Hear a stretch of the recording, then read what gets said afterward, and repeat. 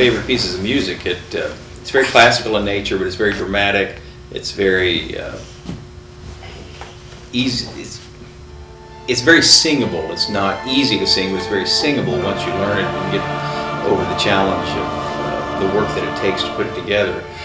Um, it tells a great story about one of the great characters of the Bible.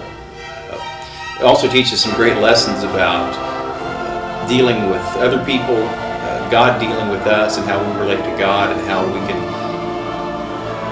uh, depend on God to help us through any crisis.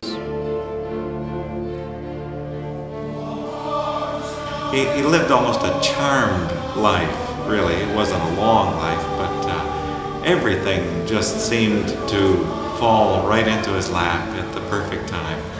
And uh, this oratorio, he, he wrote it and then he tweaked it some to improve it all the more, is so dramatic and so uh, powerful.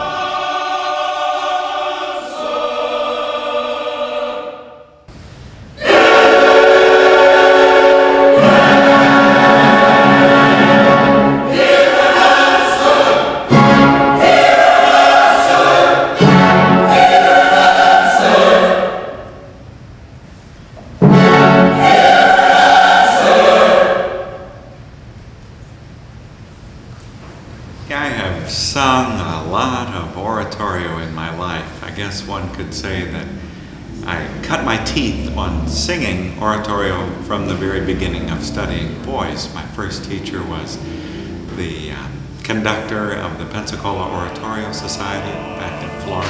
I had some opportunities uh, right from the very beginning to do performing, to learn recitative, how that style with aria um, goes. This will make about a half a dozen times for the role of Elijah, and uh, beyond that, lots of concerts, uh, recitals, uh, some opera, and uh, a lot of singing in lots of places around the country and around the world. So it's been uh, a thrill and just great to find myself in Springfield, Missouri to sing. I've performed with several companies across the United States doing both oratorio and opera and also some musical theater as well as pop selections for symphonies. And I actually enjoy every genre. They each have a little something different to offer. And I think Marvin chose me for this piece because he knew I would come in and uh, hopefully engage the audience in the piece itself. And again, Marvin and I have a relationship that spans now over five years. And uh, we've performed together, again, across the United States, and we enjoy each other's company. So I think that's how I ended up getting here. The choir learning it, we had a workshop back in February where we spent uh, many hours just learning notes and talking about the oratorio itself and how it's built and the Bible, the scripture that it's uh, based upon. last weekend in February is when we really started uh, concentrating on. Yeah, but before that, almost every choir practice, we do one of the numbers, so we kind of be familiar, little by little by little. That goes back quite a ways. The orchestra, we contracted that out. We had someone that took care of hiring the orchestra. I've spent many, many hours studying the score. This is the third time I've conducted this, so I was pretty familiar with it coming in, but still, it's been a number of years since I conducted it, so I had to spend a number of hours conducting through it again by myself, making sure I knew where the cues were and knew who was coming in when, uh, when it's getting soft, when it's getting loud. Uh, you have to ask yourself questions musically like, why did he put it in 6-8 here? Why did he go into 4 here? Why did he slow down? Why did he speed up? What's his reason for doing this? And try to understand what the composer had in mind in order to make the whole piece come to life. And I, I would like to have cut more from a time standpoint, but when I was going through uh, everything I would look at, I think, well, this is just so you, good. you We can't, cut it cut from a musical or dramatic standpoint.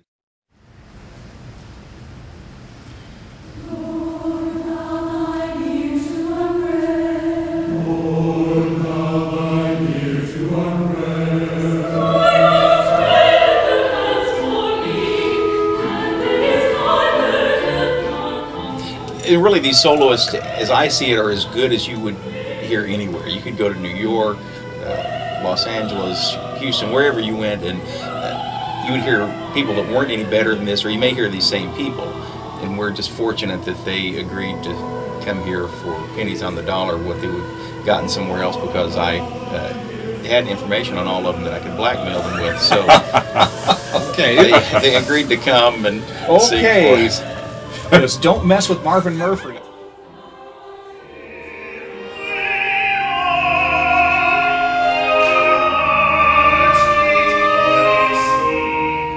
Uh, well, I've been singing for, oh, probably at least 20 years professionally. Um, done uh, lots of opera. I've done some concert work. Uh, I've done oratorio with, with symphonies. Um, but I have quite a bit of experience in performing, um, and I hold a doctorate in vocal performance.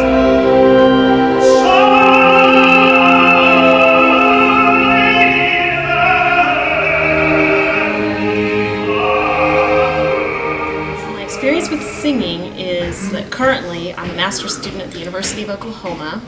I started studying opera kind of late in my career, and it was actually with Marvin Murphree, who um, saw me sing here at University Heights. And I sang His Eyes on a Sparrow, and he said, I'd like for you to sing in my opera company. And I said, okay, and I'd never even seen an opera or heard one, and I sang in the chorus, and I thought, I want to know more about this. So I decided to study uh, postgraduate work at University of Oklahoma, and uh, three years later, Marvin calls me and asks me to come and sing for Elijah. So that's how I'm here. I think the choir has done very well tonight. Uh, at the first rehearsal with orchestra, the choir came through, and we had, even if that, we had some people missing, and the choir still sang very well.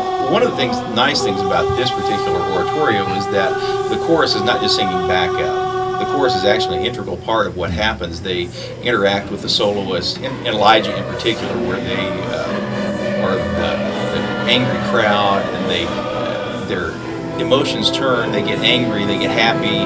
Uh, there are times when they serve as sort of a narrator, where they talk about what's happened. Lots of different things. So they're a very important part of what goes on. Sunday is just going to be wonderful.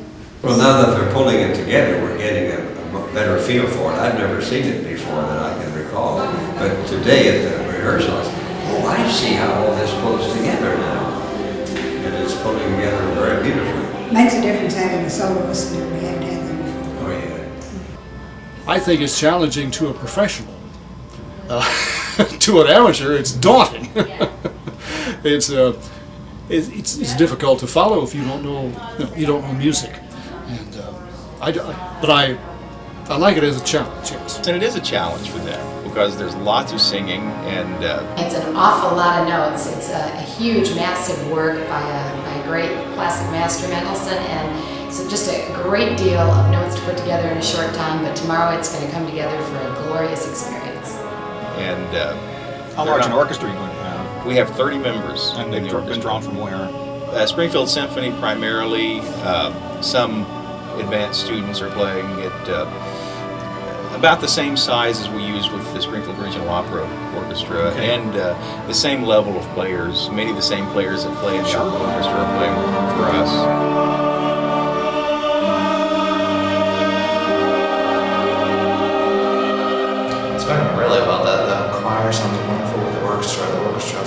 Great. It's in tune. Everyone seems to be really syncing well together for the first time, especially. It just sounds really great for, especially in this church. It's wonderful. It's a beautiful church.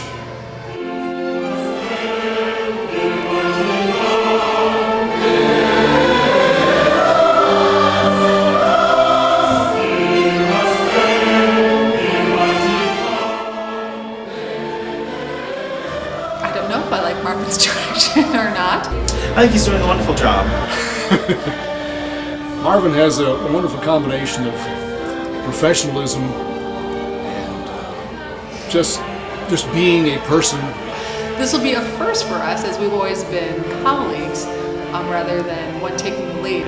I feel very secure with him with the baton in his hand because I know he will have prepared his choir to the extent that they are ready for the task, they're up to it, the orchestra's there, I know I've done my preparation. Great sense of humor, and he kind of guides everybody along by all of these, rather than just trying to say, "Now here's the music. This is the way we got to do it." Um, it's it's a tremendous responsibility when you're dealing with uh, not only a full chorus but uh, a full orchestra and soloists as well, and it's hard to keep everybody together. And I think he's doing a great job.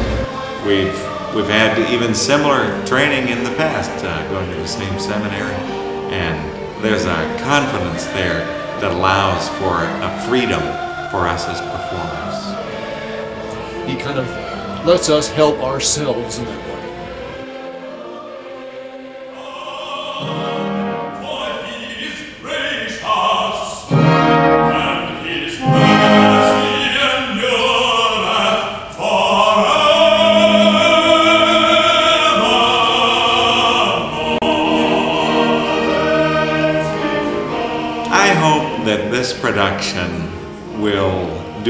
Few things. One is a challenge for the choir, and I, in accepting the challenge, they will become better. I hope that it will bring glory to God. My hopes are for the ensemble as, as a group, the orchestra and choir, that we just reach as many people at that performance as we can. Biggest hope is it comes off as it's supposed to when it's supposed to. Also, it gives them the opportunity to work with some world-class singers and that solos we're bringing in. Well, it has, it has a terrific message, I think, if the, if the message. We hope it'll be a, a religious inspiration to people. And we hope that a lot of people will come. I guess we're not supposed to say that, but we'd like to fill the place. I hope that it will tell the story of Elijah in a wonderfully um, beautiful kind of way so that the listener is totally captivated by that story.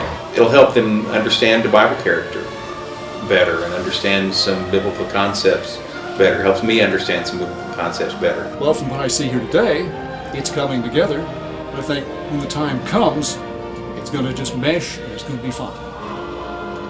I think it, uh, based on the rehearsal, I think it will be a very fine performance. Um, the choir is strong, the orchestra is strong, um, all of the soloists are strong, so um, I think it will be a wonderful experience for those who are uh, here in the sanctuary.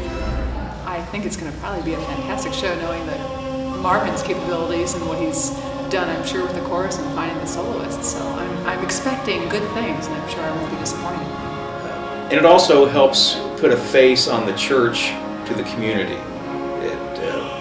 It, we've, we've had lots of publicity about this. We'll have lots of people coming from outside, and they will get an impression of what University Heights is like through this. And that we just devote this performance uh, to the Lord and that we make the most beautiful sounds possible. And then I hope it will change lives. I hope it'll change me to think of filling those huge shoes again of Elijah and to uh, think of the congregation hearing this. What is their response? The choir is singing all of this and the orchestra playing it. What is the response in life that we have to such a story as this? God can work miracles, we know, and did in Elijah's life. He can do the same in our life.